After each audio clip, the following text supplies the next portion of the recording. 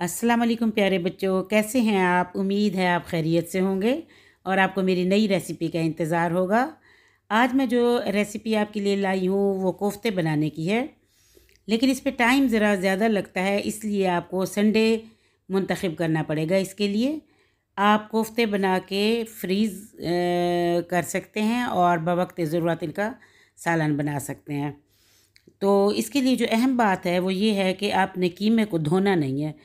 ताकि उसमें पानी ना आ जाए, उससे फिर ज़्यादा अच्छे नहीं बनते कोफ्ते और ना ही वो कीमा पीसा जा सकता है। इसके लिए हमें बीफ कीमा चाहिए, एक किलो। ये हमने पीसना है लेके और प्याज दो दरमियाने साइज़ के चाहिए। इसके अलावा हमें चाहिए लहसुन, अदरक और ग्रीन मिर्च चाहिए। लहसुन दस जवे, अदरक एक बड़ा टुकड़ा ले लें और सब्ज़ मिर्च जो है वो पाँच दरमियानी साइज़ की मैंने ली हैं। इसके अलावा ये भुने हुए चने हैं जो बाज़ार में मिलते हैं। काले छिलके के साथ भी मिलते हैं और बग़ैर छिलके के भी। ये आधा पाव चाहिए हमें। और कुटा हुआ धनिया तीन चाय के चम्मच हम डालेंगे इसमें। और इसके अलावा जो हमें बाकी मिसाला जात डालने हैं, उनमें पुदीना है ये चार खाने के चम्मच। और इसके अलावा हरा धनिया है, दो खाने के चम्मच इसमें हम शामिल करेंगे।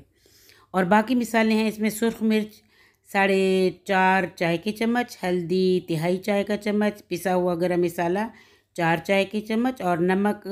मैंने इसमें जो डाला है वो ढाई चाय के चम्मच डाले हैं, आप हसब ज़ायका अपनी पसंद के मुताबिक डाल सकते हैं। ये देखें ये भुने हुए चने हैं, इनको मैं अपने चॉपर में पहले पीसूँगी, इनका पाउडर सा बना लूँगी अगर ये छिलके वाले हैं तो ज़रा आप छिलके जिनके उतर सकते हैं उतार लें जिनके नहीं उतर सकते, कोई मसला नहीं है।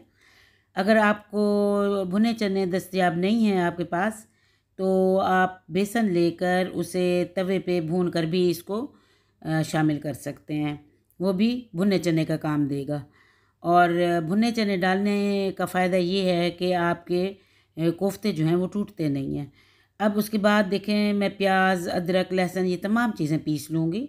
सबसे पहले मैं प्याज पीस रही हूँ और अदरक और लहसुन मैंने पीस के पहले से रखा हुआ है और कीमा भी हमने दोबारा पीसना है ताकि ये मज़ीद बारीक हो जाए और कोफ्ते अच्छी तरी, अच्छे तरीके से जुड़ जाएँ आपस में।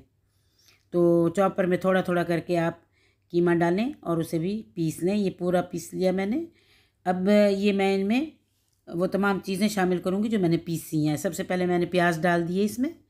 ये अदरक और लहसुन का पेस्ट मैंने पहले से ही जो पीस के रखा था वो डाला है और सब्ज़ मिर्च डाली है अभी। तादाद में आपको पहले बता चुकी हूँ, वो तमाम चीज़ें हम इनमें शामिल कर रहे हैं। ये धनिया है और पुदीना है, ये तमाम चीज़ें अंदर डालनी है हमने।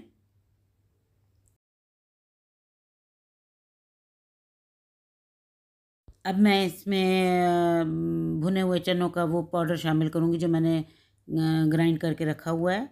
ये देखें, ये भी मैंने इसमें शामिल कर दिया है। इसके अलावा बाकी चीज़ें भी इसमें अभी मैं डालती हूँ, देखें आप। ये कुटा हुआ साबित धनिया है और हल्दी पाउडर। इसके बाद नमक, मिर्च और गरम मसाला हम शामिल करेंगे। ये देखिए ये मिर्च है। मिर्चें भी मैं इसमें डाल रही हूँ। इसके बाद नमक भी डालूँगी और गरम मसाला भी डालूँगी।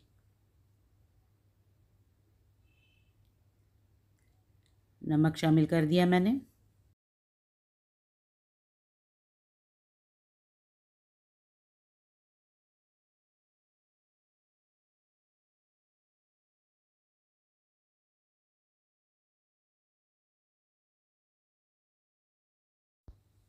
इन तमाम चीज़ों को कीमे में डाल के मिक्स कर दें। अच्छे तरीके से इनको आपस में ये मिक्स अप हो जाएँ। तो फिर हम इनकी बॉल्स बनाएँगे। बाज़ लोग इसमें एक कच्चा अंडा भी मिला देते हैं। लेकिन मैंने कभी नहीं मिलाया। मैं सिर्फ़ भुने हुए चने मिलाती हूँ। और कोफ्ते ऐसे होने चाहिए जो बहुत सख्त भी ना हों और इतने नरम भी ना हो कि टूट जाएँ।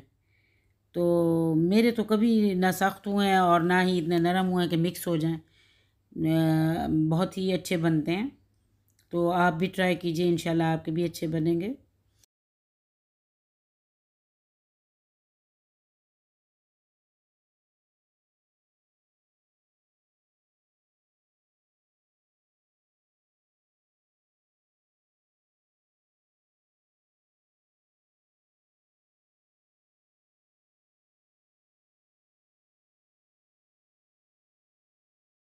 ये देखने के लिए कि इसमें तमाम मिसालों का तनासब बराबर है तो थोड़ा सा आप चख सकते हैं। अगर किसी चीज़ की कमी हो तो आप उसको शामिल कर सकते हैं। मैंने इसे चख के देखा तो मुझे नमक भी कम लगा मिर्च भी कुछ कम लगी और कुछ गरम मसाला भी कम लगा तो मैंने वो दोबारा इसमें शामिल कर दिया है। आ, लेकिन ये आ, जो क्वांटिटी है ये वही है जो मैं शुरू में आपको बता चुकी हूँ उसके अलावा नहीं है ये। तो ये तमाम चीज़ें मैंने दोबारा से शामिल कर दी। बजाय इसके कि बाद में आपको मज़ा ना आए, कोई चीज़ कम हो, इससे बेहतर है कि पहले थोड़ा सा चख लिया जाए इसे। इन तमाम चीज़ों को मिक्स करने के बाद अब मैं इसकी बॉल्स बनाऊँगी।